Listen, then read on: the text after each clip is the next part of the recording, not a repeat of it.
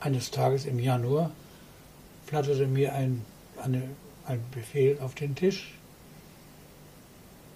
Übergabe Prinz Eugen an Schmidhuber und Übernahme der Division Das Reich.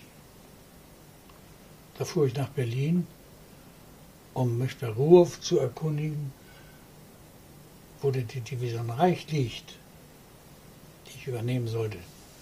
Da sagte er mir, ha, Sie übernehmen nicht die Division Reich, Sie übernehmen die Leibstandarte.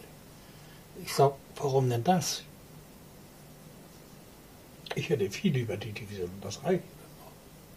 Die kannte ich ja von Anfang an. Ne? Da sagt er mir, ja, Sepp Dietrich wollte den Ostendorf nicht haben. Der kam von der Luftwaffe. Von der Luftabwehr. Der wollte lieber den alten SS-Mann haben. Und so hat er mich genommen.